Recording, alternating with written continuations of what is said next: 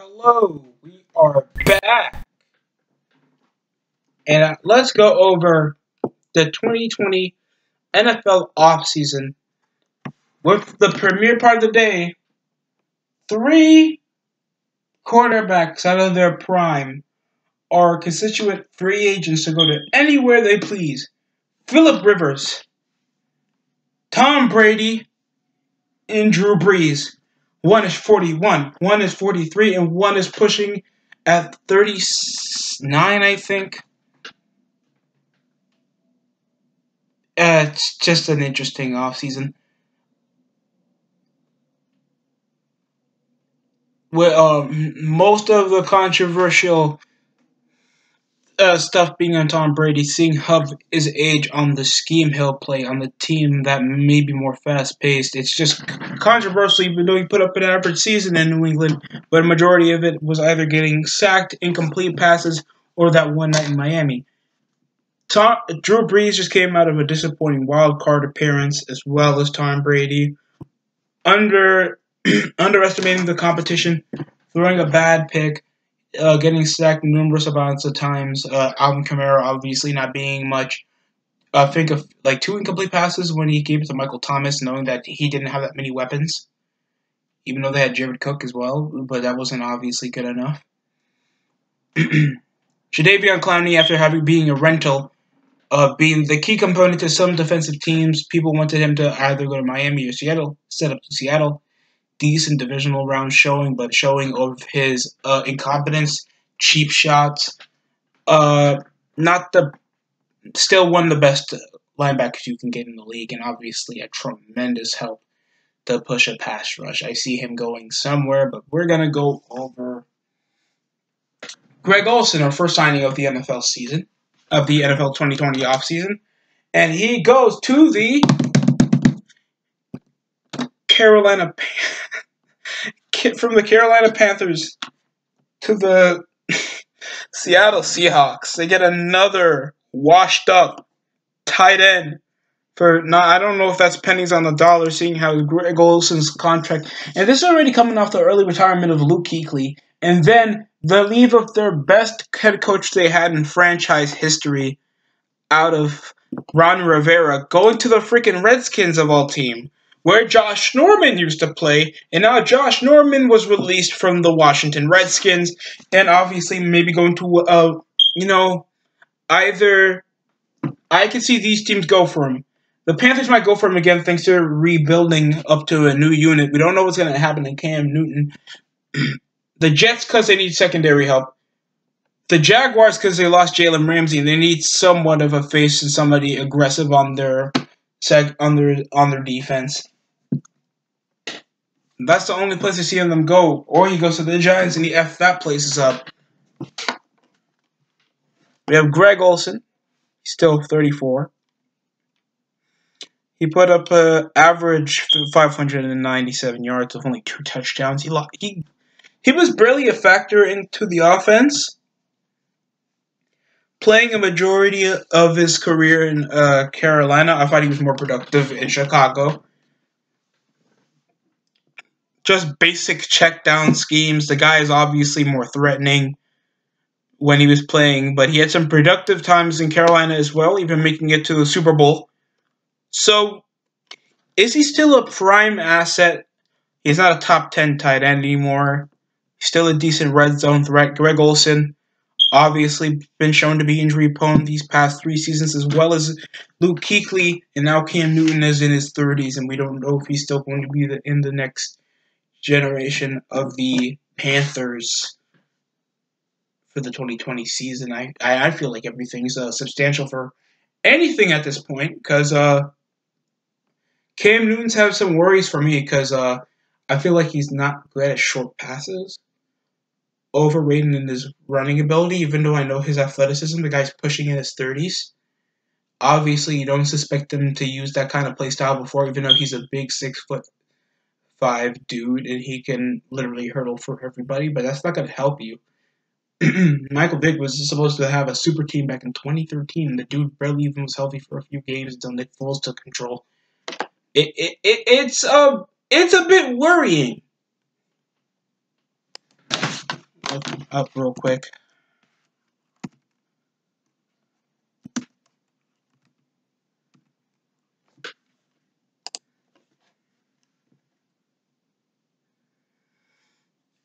Because uh, I'm I'm I'm trying to the like go over what happened because for the final 13 games of the season, Newton came from an 0 4 start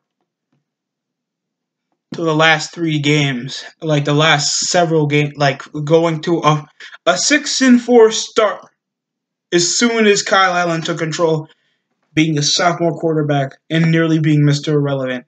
And now here he was from throwing two touchdowns, only playing like week 17. And now here he was in the 2019 season, putting up tw- tw- 17 TDs. Freaking amazing completion percentage that depleted down later in the season, but he was actually playing nearly a full schedule of football. And he went for 3,000 yards in just his first career start.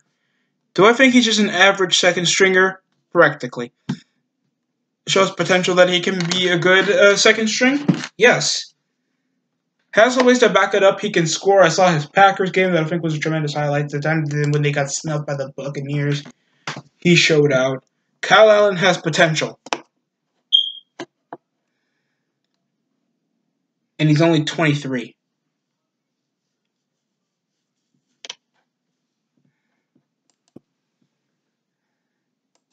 There's also AJ Green. I've been hearing some information about him.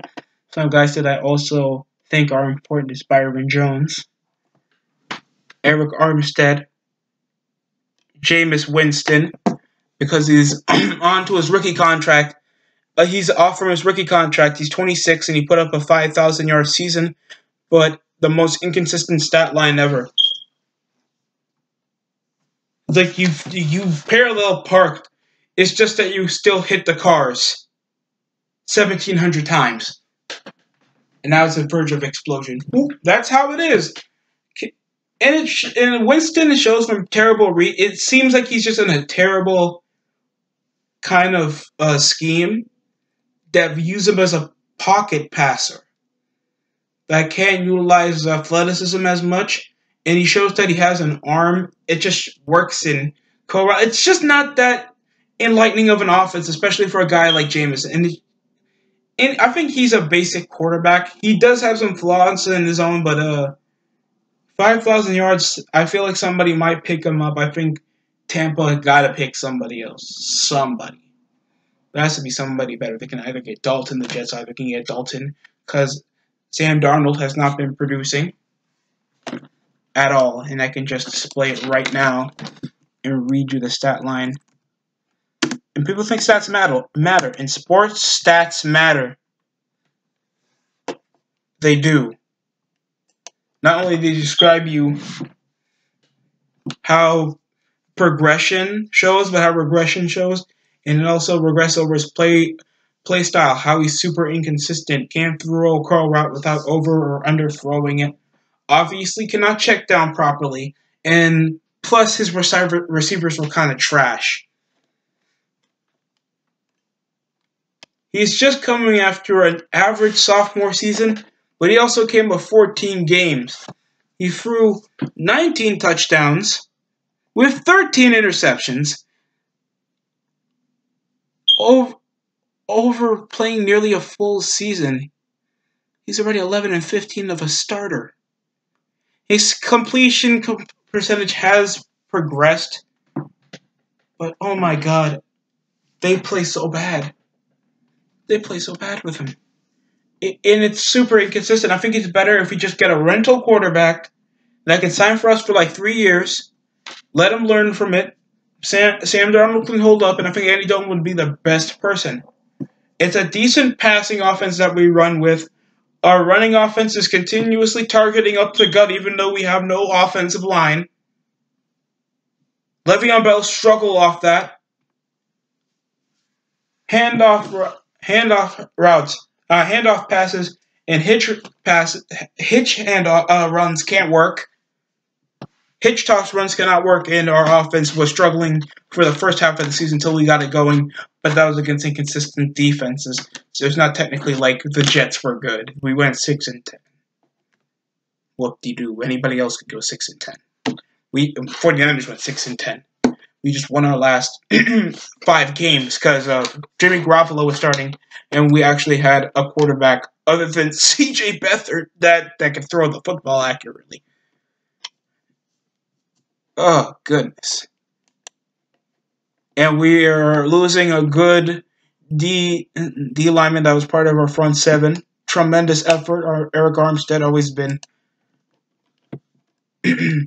efficient, but injury riddled quarterback. I mean, lineman. Austin Hooper had a tremendous season. They have to resign him. Hunter Henry, Bud Dupree, Matthew Judon, Derrick Henry, obviously going to resign after a Superman effort in the playoffs, making them go to the super near near the AFC Championship. That was amazing. Went for over 100 yards. They had to put up for one of their games a goal line formation just to flat out just stop him from running from the outside. He shows that much of skill. He's going to be an MVP soon safety Anthony Harris, Robbie Anderson, former Jet. Obviously, one of the better receivers.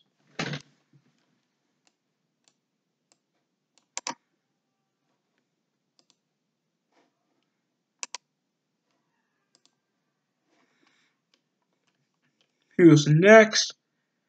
James Bradberry, cornerback. Emmanuel Sanders, that was uh, on rental from over the deadline when we traded from the Denver Broncos after he depleted. I think he got like three touchdown pass catches, and then he barely did anything else. Teddy Bridgewater, after, and he vowed to stay with the Saints after a great stretch of the past six games. He played amazing football.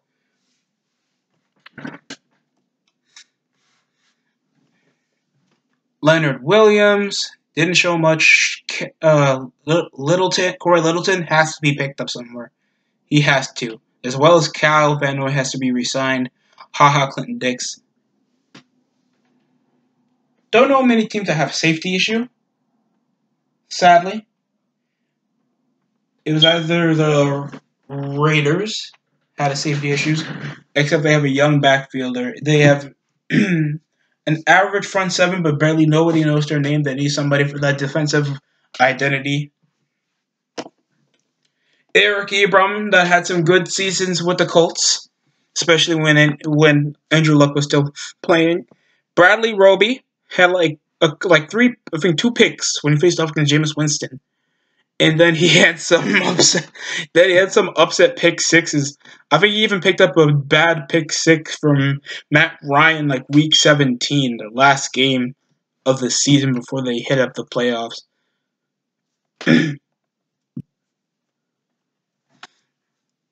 Graham Glasgow. No one cares who's ever on the Lions. I don't care.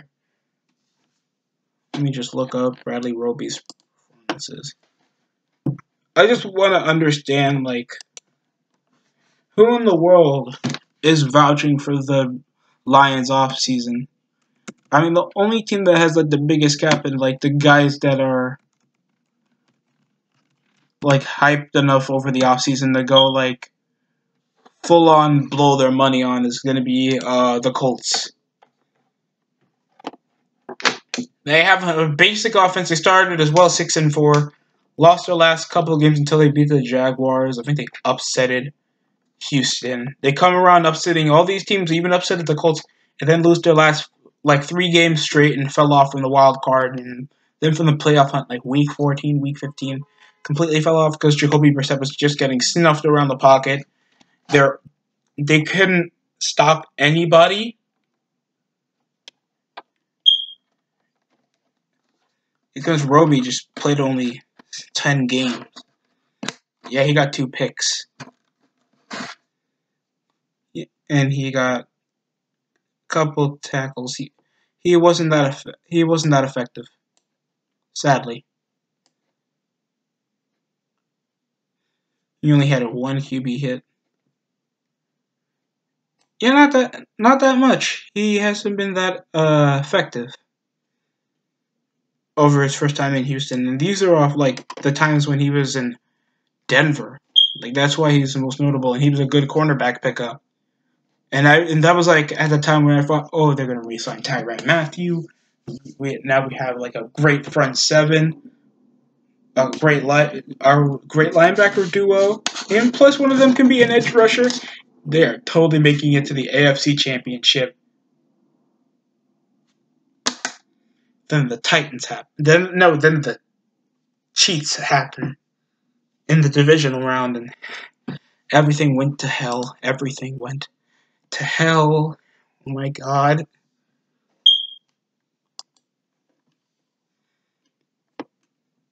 Joe McCoy that had a decent season in in Carolina kind of had a couple like I think one three sacks. He there there was barely much to be notable from the pass rush going into the Panther season. I mean the biggest signing they had was uh the free was Gerald McCoy after his uh, tenure in Tampa Bay. So I, I just want to get that uh, straight that uh, they weren't anticipated except the great offensive season. Some people think that Christian McCaffrey was snuffed for Offensive Player of the Year. How can you be that consistent in the receiving and catching and receiving yards? I would give Michael Thomas in person that title, that, that Offensive Player of the Year title.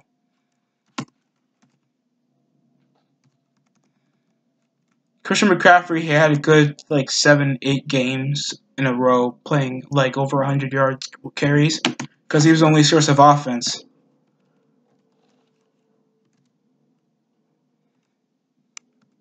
He really was.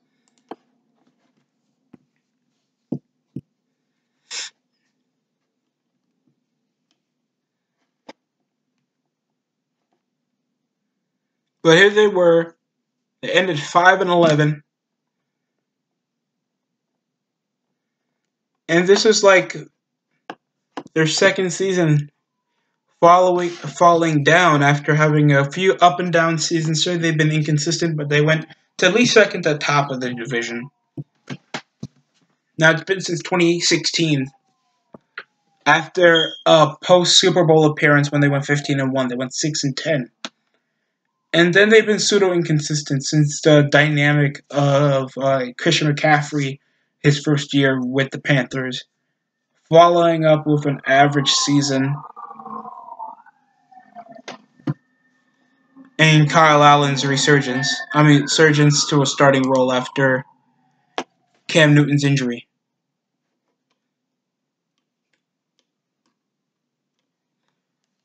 And he was having some good games. He was. The most notable one was the Packer game, Packer game because probably it was just snowing and I was just paying attention because it was, I think, a comeback drive after it was like 17 to 24 and the Packers still snuffed them. So I was like, oh my God, they really trying to make a playoff berth. And then they lose those types of games. And this was off them having good performances, but they followed up. Look, they, oh my God. Oh boy, they started it off with two and four, and this was off Kyle Allen starting, snuffing Cardinals, Texans, Jaguars, Tampa. Then the bye week happened, and then they had competition that they forgot they had. Losing to the Packers in the close one, then losing to the Falcons in a now they got shut out by the Falcons. Then losing in close ones in shootouts against the Saints and the Redskins. Falcons falling off twice and then going 5 and 11 after their last game against the Saints.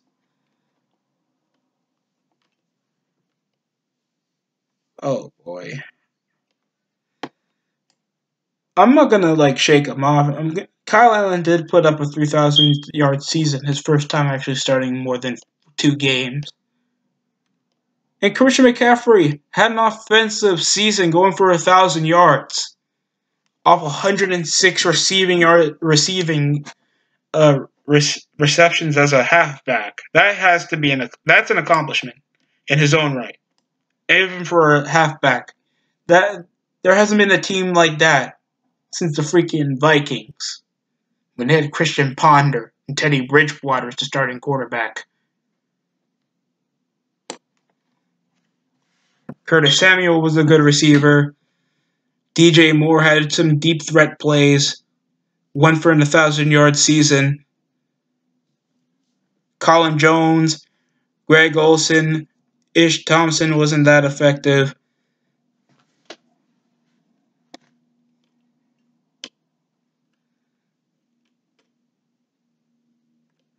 Let me just look at Eric Reid. It's like his eight. I think it's like his tenth. I think it's like his ninth season with the Panthers or something. Played a full season and barely did much. Shaq Thompson playing tremendously. Luke Kuechly getting injured. I mean, trying to like restrict injury, even though he's been the best part of stopping the run. Tre Boston James Bradberry, that's on the that's a free agent. Ross Cockrell, former Steeler. He had some. He had a few good games off early in the season. Then he fell off and barely could ta- tackle a soul from the deep field, just like Tre Boston, and Donte Jackson, and Bruce Irvin, and j- yeah, just secondary could not tackle a soul if a receiver catches the football. To be honest, I'm just saying. I'm just saying that's like my thought on the Olsen. Then you lose everybody. You're gonna lose a good d- defender. You're gonna lose Luke Kuechly of all people at 28. The guy has at least three, four more years of football left in him. If it wasn't for the injuries, he made a great life decision and a great career decision. I wish the best for Luke Kuechly, like I do for Andrew Luck and anybody else who retires early in a great pro career trying to see if they can walk, and that's what I wish. Uh, in the Greg Olsen, oh boy, and we don't even know what's going to happen to Cam Newton after a rough season, only playing like th- like three, four games until. Yeah, he played only like three games until Kyle Allen took his position. So that was uh, this is kind of rough. Christian McCaffrey's going to be paid a whole heap of money, even though he's in a rookie contract. Oh my god. This is going to be the biggest thing for the Panthers to deal with. But that's my thoughts on the whatever in the hell uh, my take on the Greg Olsen signing. This is obviously an interesting signing.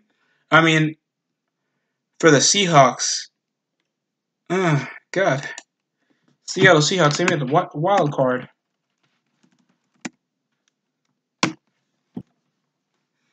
You you should be grateful, Seattle. You get another has been injury prone tight end that hasn't been that consistent.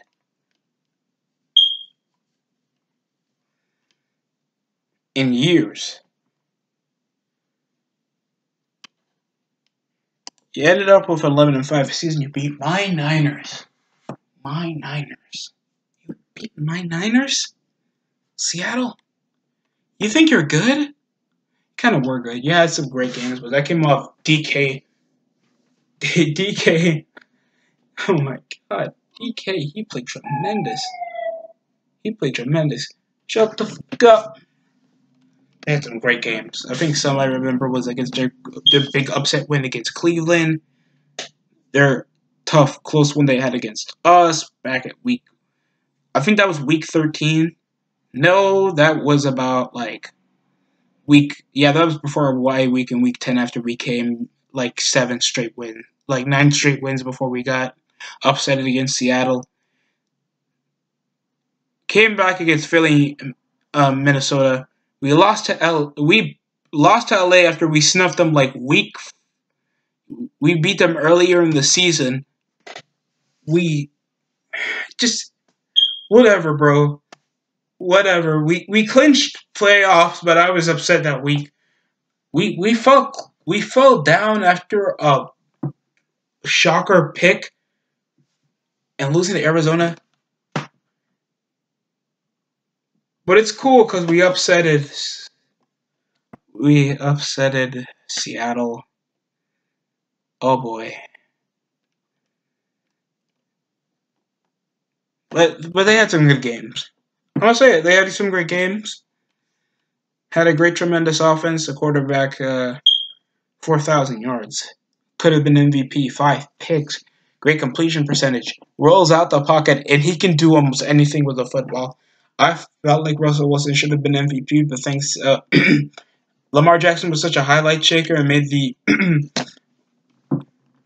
Ravens been, been more notable for being an offensive team, even though they had a defensive front, a secondary that's scary. After just picking up a Rams corner, Marlon Humphrey showing out. Just a great defense. And after getting rid of CJ Mosley and Terrell Suggs, you knew something different was going to happen. And they came into Chris Carson, going for a thousand yard season, a twelve hundred yard se- twelve hundred yard season with seven TDs. We also have. you want me to say it? You want me to say it? David Moore, DK Metcalf, going for after starting 15 games, he went for a freaking. Oh my god, the dude got like Oh, wow, he went for like a couple touchdowns into the season. He had like at least seven, eight. He had at least over 10.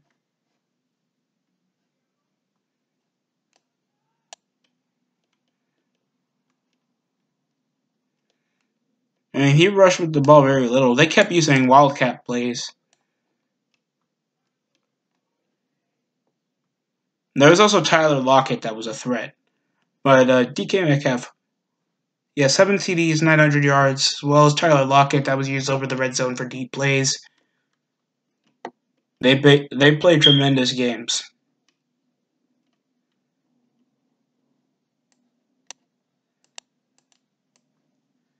This, oh wow, the stat line is terrible. But still, it it showed how threatening they are as a dynamic. That O line needs to be fixed stat. Malik, Malik Turner turned up in some games.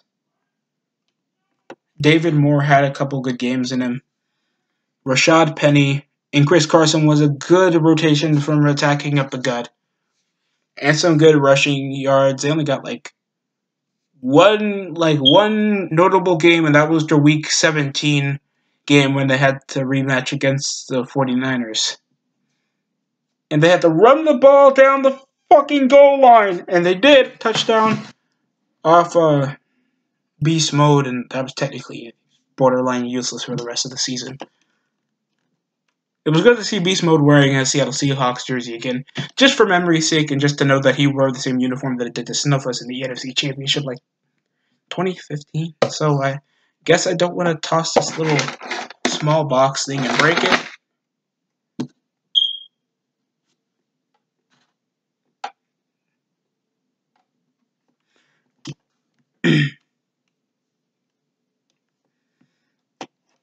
Also Bobby Wagner that tremendous season. Who else? I'm about to call Michael Kendrick. Shaquill Griffin showed up as a great ball swatter. I think he's obviously there's reasons why he's better than his other brother. KJ Watt Trey Flowers that showed up some great sacks and became a great edge rusher. Jadeveon Clowney, Cody Bartons. God, just great front seven that showed up in the secondary was there when it counts.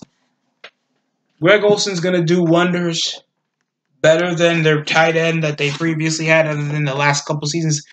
They had Jimmy Graham. That Jimmy Graham showed up for the got signed to the Packers after like five seasons with the Seahawks.